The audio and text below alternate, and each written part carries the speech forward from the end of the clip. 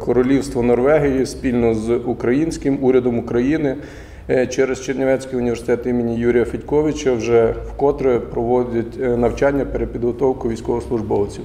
Ми кілька разів були присутні на врученні сертифікатів про перепідготовку і кваліфікацію нових професій.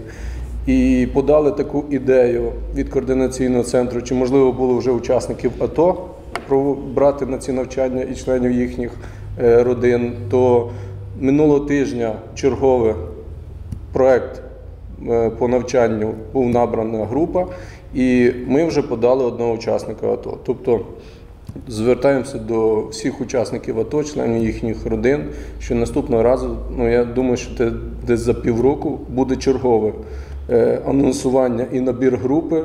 Там по підприємництву, захист, безпека підприємництва, інші види діяльності і отримання е, свідоцтв про е, е, те, що ці люди вже володіють тою чи іншою спеціальністю. Ми з радістю будемо е, допомагати економічному факультету Чернівецького національного університету імені Юрія Федьковича в наборі таких е, слухачів і подання документів для того, щоб вони мали можливість е, в навчанні.